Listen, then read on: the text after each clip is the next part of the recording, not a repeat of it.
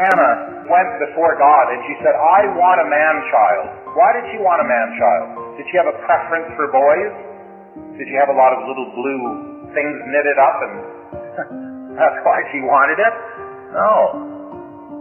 She understood that Israel was in desperate shape and needed a champion, needed someone who would represent God and speak for God and that God used people, and He wanted a man, and she understood the will of God, and she prayed for a, for a child that she might give him back to the Lord. Things were in terrible shape. The judges had collapsed. The all tribal council had collapsed. The priesthood had collapsed. Eli was a blind old man sitting there, imperceptive. His boys committing gross immorality in the name of God. You know, when the when the priesthood failed, when the judgeship failed, God didn't fail. God would still win the day. And, and Hannah understood that. And so she looked to God and said, Lord, I want to be made available here. If you can use me to produce this little boy that will grow up before you a man of God, that's what I want. You know what assemblies of God's people need today?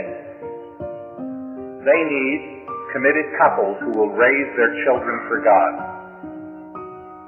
They need people who are prepared to say, our business in life is to raise children for God. It's a very, very important strategic role that we can play.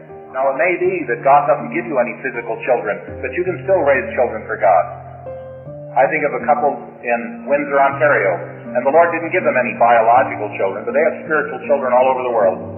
They take in international students. They built a, a, a room on the side of their house. It's about 35 feet long, and they have one long table with chairs all around it. And every Sunday noon, that table is full of international students. The last time I was there, there were three Muslim women with their headdresses on from Amman, Jordan. And there were two communist Chinese from Beijing. And uh, there were a bunch of Hindus. And they showed them hospitality, and then someone else would get up and preach the gospel. And they have spiritual children in just about every country of the world. And so, yeah, maybe God doesn't give you physical children, but He can give you spiritual children to raise for Him.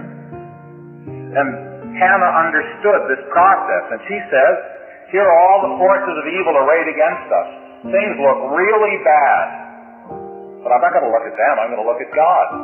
Look up. God's not discouraged. He's on schedule. He knows what he's doing. Hannah had learned this lesson that the battle is not for the strong, that the race is not for the swift, that it's not by might, not by power, but by my spirit, saith the Lord.